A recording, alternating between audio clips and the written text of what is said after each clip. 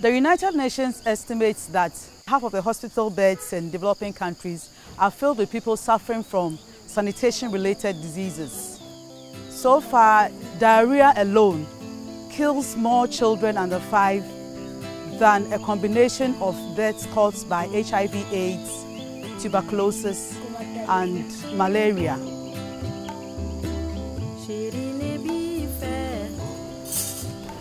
Yeah, this is Ziblim Salamatu. Um, she was brought in here because of uh, typhoid fever and a complication of it leading to perforation of the small intestine. There were multiple holes on the intestines. We had to cut and join. We typically refer to that as typhoid perforation. It's an infection that is uh, associated with poor uh, sanitation and uh, poor drinking water. If hand washing practices are poor or if the environment as a whole is not well cleaned, the bacterium can be transmitted from person to person either by hand contacts or uh, it can stick on flies who transmit it onto our food. Somewhere from January to March, we have a peak number of these cases coming in. And that is the time when we have the driest season in this part of the country. When that happens, the few uh, water uh, bodies that we have collected get dried up, and those that are left undried are so dirty, and uh, humans have to share it with uh, other livestock. Even in Gushegu Township, where we rely on boreholes, the water table falls, and then our water supply is no longer uh, adequate enough. So at that time, hand washing, even bathing becomes issues, and then we do see quite a number of these uh, cases coming to us.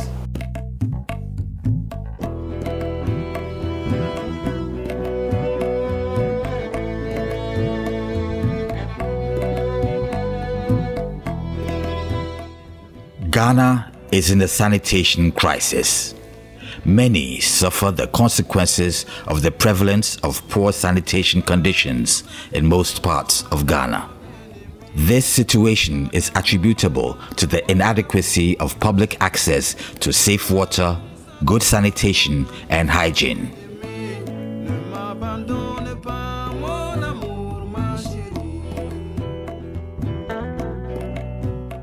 About 10 million Ghanaians lack access to safe water. 86% of the people do not have access to basic toilets. Over 3,000 children under 5 years die annually from sanitation related diseases, particularly diarrhea in Ghana. It's a crisis when we look at um, the fact that we have more children uh, under 5 dying from uh, diarrhea, uh, which is a sanitation uh, related issue you know, uh, poor sanitation and poor hygiene conditions.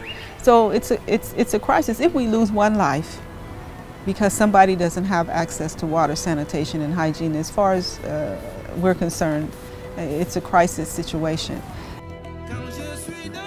To improve the sanitation situations in communities, Water Aid Ghana, a non-governmental organization, is embarking on a sanitation and hygiene advocacy program to draw attention to the deplorable condition in eight communities from two districts, Akuapem North in the eastern region and Gushegu in the northern region.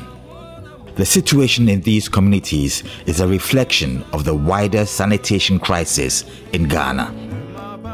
Sanitation for a long while has been a private affair. Ghanaians don't really want to talk about toilets. It has been very common to see political figures go and cut sword for water facilities, how many water points uh, they have established in this district compared to the other districts, but talks about how many households uh, a district has helped to get access to latrines have not been the best. Campaigning for sanitation reflects the current country strategy and direction of Water Aid Ghana. It is also a reflection of the poor sanitation situation in Ghana and what Water Aid and the partners can do to promote sanitation in Ghana. In this project, Water Aid Ghana, working with ACDEP New Energy, uh, seek to promote behavior change around sanitation and hygiene issues, to educate the communities to resolve by themselves, to minimize open defecation, to seek assistance whether within their communities, by their kids and kin, or get assistance from the district assemblies like Akuapem Municipal Assembly or Gushegu District Assembly, or even embark on fundraising and get their kids and kin who reside in the big cities of Ghana and elsewhere to come and help them to construct latrines so that when they use the latrines, they can improve their health status. The purpose of this sanitation advocacy program is to bring about change so that at the national level, greater allocation of resources goes to the improvement of water, sanitation, and hygiene services and facilities, and greater accountability and transparency from government to the people. The same commitment is expected at the district level.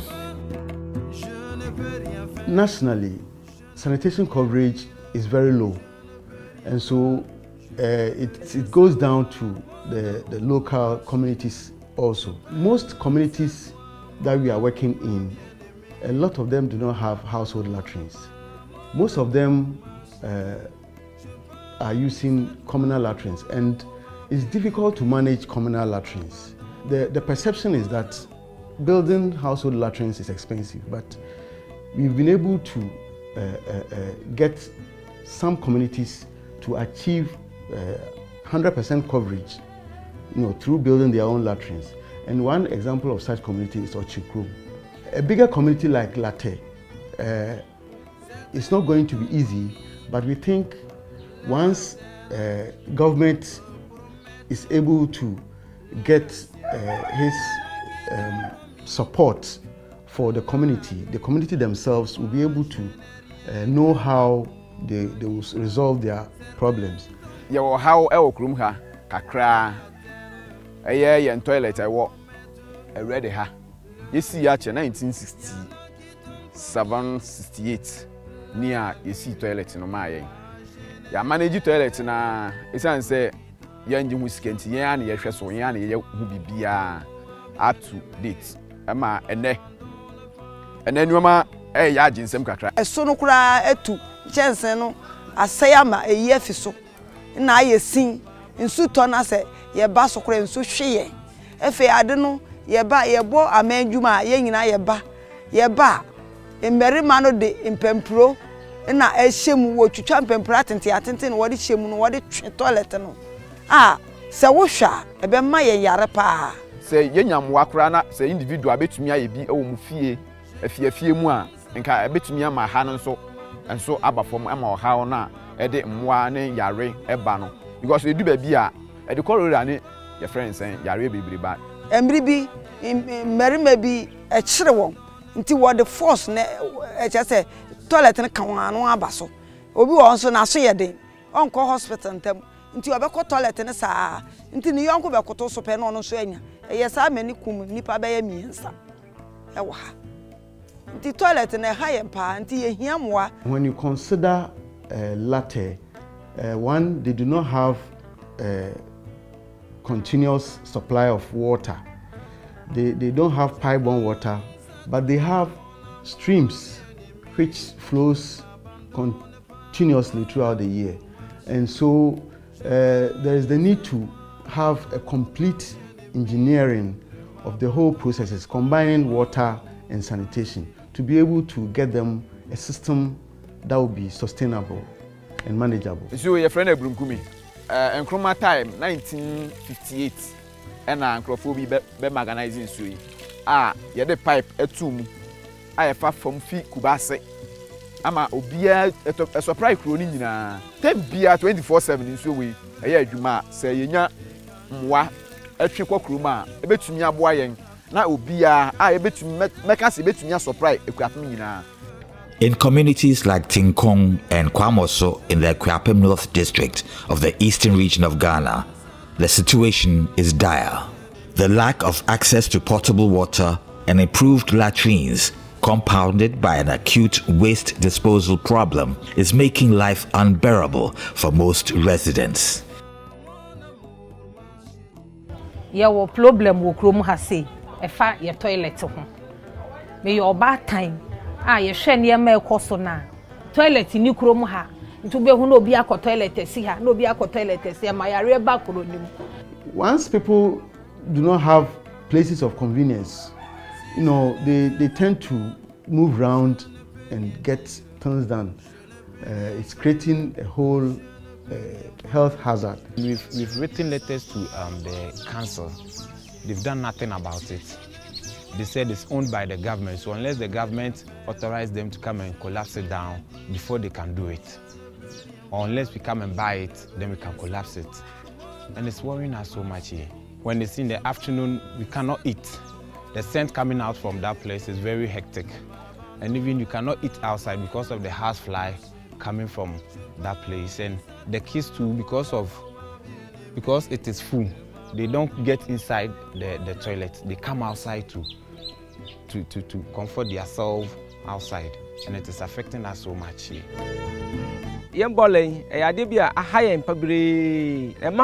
a a wɔn brɛ paa nsuo a ɛtɔ koraa na ɛnam ne baabi no bɔɔla no abɛsi kwan no. Nsuo no agyina ama ntuntum ne adeɛ adɔ bebree. Nti kuromafoɔ no wɔn ayɛ demonstration de aba mi hɔ. Ama mi kasa koraa no wɔn atwitwa nnua de si kwan no. Sɛ wɔn ma assembly no mfa wɔn bɔɔla mbɛgu hɔ. Mi as assembly man ayɛ te sɛ mi ni madwuma nti mi gyɛ mi srɛ aban sɛ aban twɛ n'ani hwɛ kwantananfoɔ. kware ni bɔɔl anaasɛm ɛha o yɛ.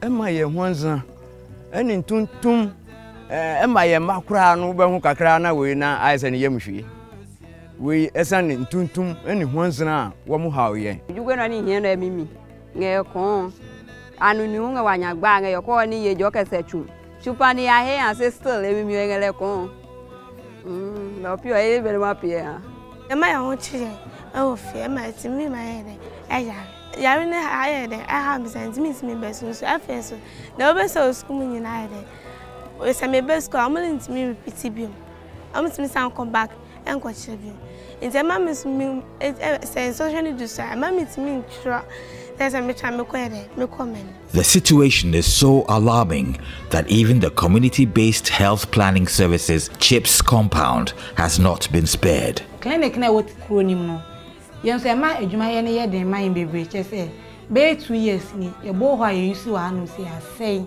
nti yɛn nso gye sɛ ne community members ne kɔ pere ɔmo deɛ no ho. Nsuo no ankasa yɛn nso nipa na ɛwɔ kuro nim no yɛn nso yɛ deɛ yɛde ɛkɔ akɔto so.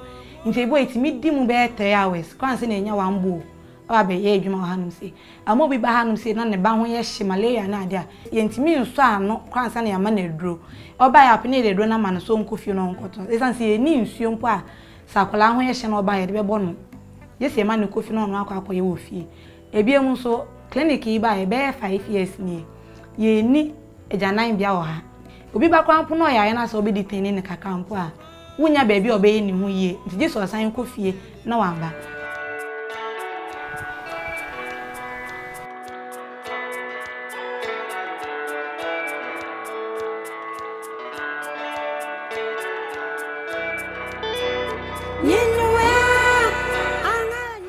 The northern region equally faces severe sanitation problems. The situation in Wantugu, Zamashegu, Zantile, and Dandaboli are all very dire.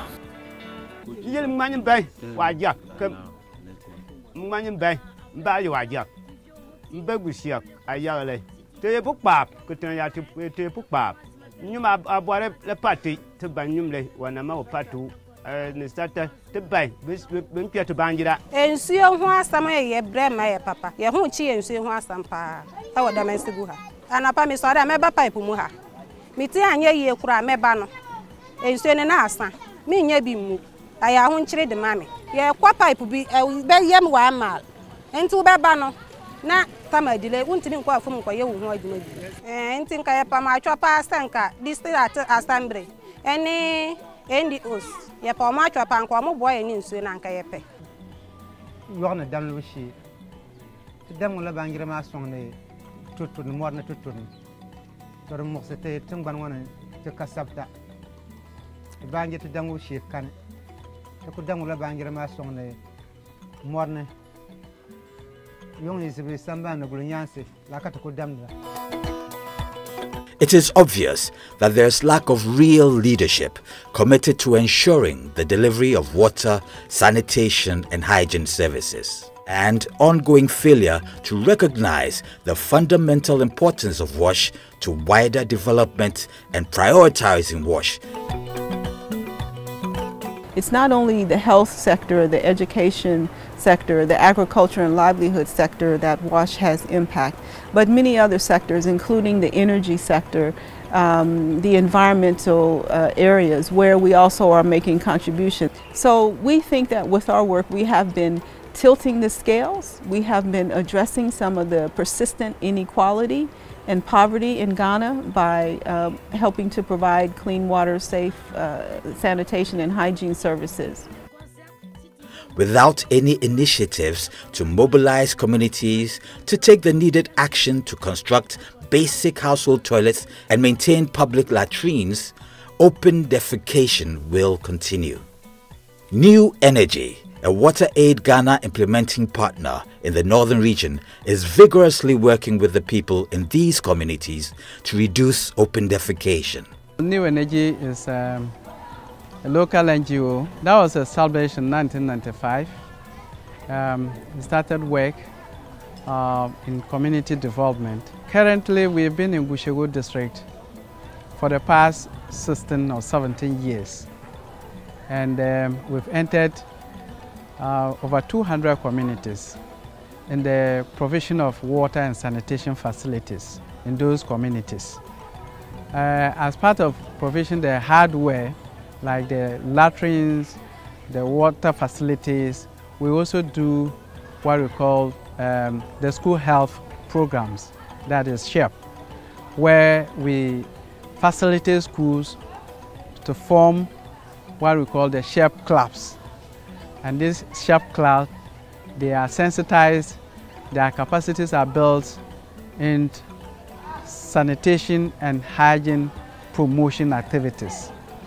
Uh, most of the schools that we provided the hardware facilities like the school latrines, institutional latrines, water facilities like rain harvesting tanks.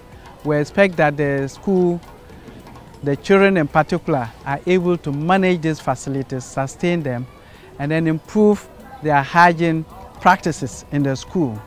For instance, we, we believe that when they are healthy in school, um, they can continue to sustain their learning. Their attendance will be improved and their academic standards will also be improved. When the children come to school, they have to go to the borehole side, fetch water and uh, clean the toilet. And we have only two boreholes in this community. One is in town, one is a little bit outskirts. So what they do is that when they go to the town one, they have to queue because there is a pressure there. They have to queue and uh, before they can get water. Sometimes we have to go and appeal to the, the community members, the women there, so that they give them chance to fetch. And sometimes we can't just do otherwise. What we do is that they have to go that far away, fetch. And you know, with that, it is affecting our academic work because they normally exhaust classes hours fetching for uh, searching for water instead of be in the class learning. Water Aid is joining communities to demand for an increase in investment towards the improvement of sanitation. And we're also asking that these funds are judiciously used. They must be spent in a manner that is accountable and transparent. We're also requesting that the communities be involved in decision making concerning the use of the funds that are meant for improvement in sanitation. Imagine if attitudinal change also happened at the top. And key duty bearers and district officials like DCEs, planning officers, and budget officers prioritize sanitation in their budgets and spend the money as planned, addressing first the most marginalized. This will lead to the elimination of open defecation and improve hygiene practices. The result is healthier communities. Government must uh, do its role, bring the financing, um, bring the um, people with the right skills and capacity to address the issue. Systematically or gradually, every year we increase our funding to sanitation. At least 35% of my total budget, one way or the other, under education, under health, under sanitation itself, it is all directly or indirectly linked to sanitation. So as, an, as a municipal assembly, the Akuapem North has increased its funding towards sanitation. We hope to do more. We hope to do more. And in doing so, we hope that the donors will also see what we are doing and also come and complement our efforts. Luckily, the picture is not all gloomy. The people of Ochikrom in the Akuapem North District have resolved to ensure that their environment remains clean and healthy. With Ochikrom in particular, they have uh, they have water problem. So because of that, added with some international NGOs and with water aid came to their aid, gave them water facility, as you can see over there. And then we gave them a rain harvest as you can see there.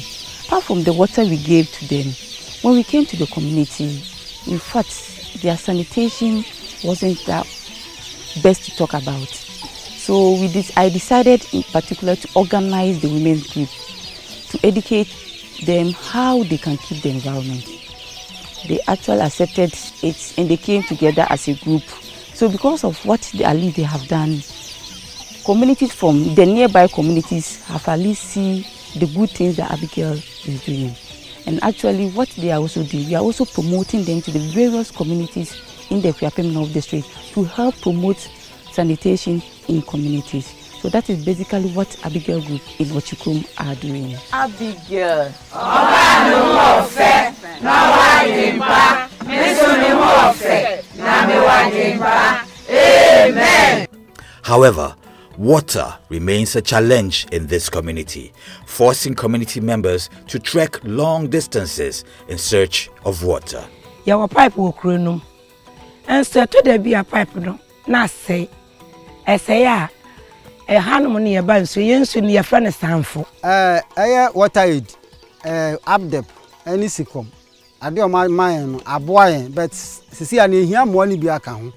San sɛ nsuo no ɛnso yɛn ɛnso yɛn koraa ɛfa tank wei sei no ɛno yɛ rain harvest.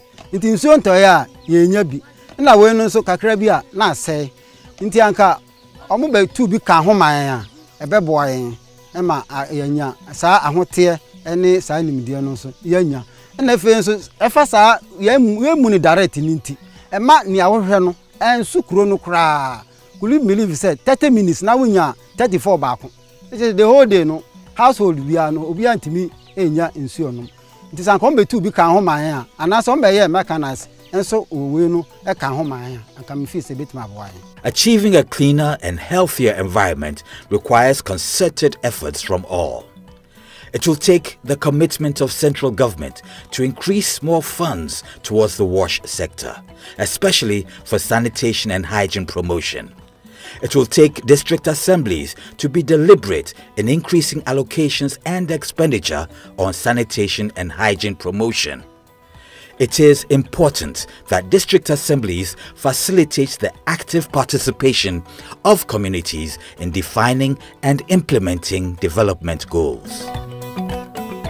What we are experiencing today is that with concerted effort from all partners, um, NGOs, um, the district assembly, um, the other government agencies, in fact, um, we are trying as much as possible, even though there are a lot of challenges in the community. But at the moment, we, for, for us in New Energy, we are seeing a lot of changes in the community.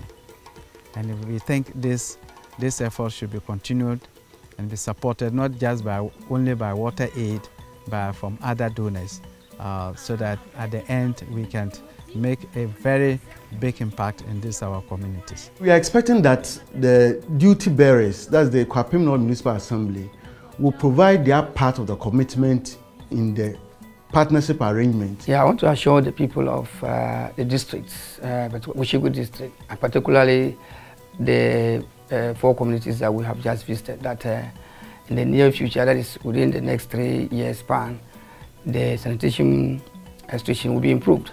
That is why they have people, bodies like the New Energy, Water Aid, and then Integrad coming into those communities to do this advocacy for us to solve the problem. So uh, with what we are going to uh, gather, at least uh, whatever we have seen, we'll make sure that uh, it is tackled within the next few days. Water Aid remains committed to ensuring that every community gets access to potable water and dignified sanitation. We hear stories direct from communities about how having access to water, sanitation, and hygiene transform their lives, transform their communities. People are able to engage in um, economic productive activities.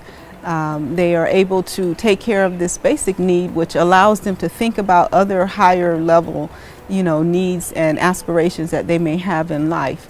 Their health, they're healthier, um, the environments are cleaner, um, you know, so these are some of the benefits. If Ghana is to reach its developmental goals, then such deplorable sanitation conditions must become a thing of the past. Right now, the um, budget for, for WASH is about 90% uh, or so funded by external uh, donors. Uh, the government's portion itself is not what it needs to be and it's, it's not what has been promised. At the third high level meeting on water and sanitation for all, held in Washington in the United States of America, the government of Ghana pledged to invest $120 million per annum in the water subsector and cover 1.14 million users annually. To invest $50 million to sanitation and hygiene subsectors to accelerate sanitation delivery, to commit an additional 20 million US dollars seed money to the Strategic Environmental Sanitation Investment Plan, SESIP, and work with the private sector, youth, sanitation entrepreneurs to accelerate household sanitation delivery in the next two years. Also, the National Sanitation Policy 2010 there are a series of well-intended you know, statements in those policies.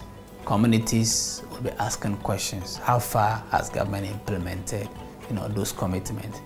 So overall, this program is intended to build the capacity of communities to engage, to have decent sanitation facilities, and also call government to action to ensure that they implement their own policies and commitments. Reliable access to potable water is necessary for improved sanitation and hygiene practices. And this is Water Aid Ghana's call to ensure that all have access to basic toilets and all practice good hygiene.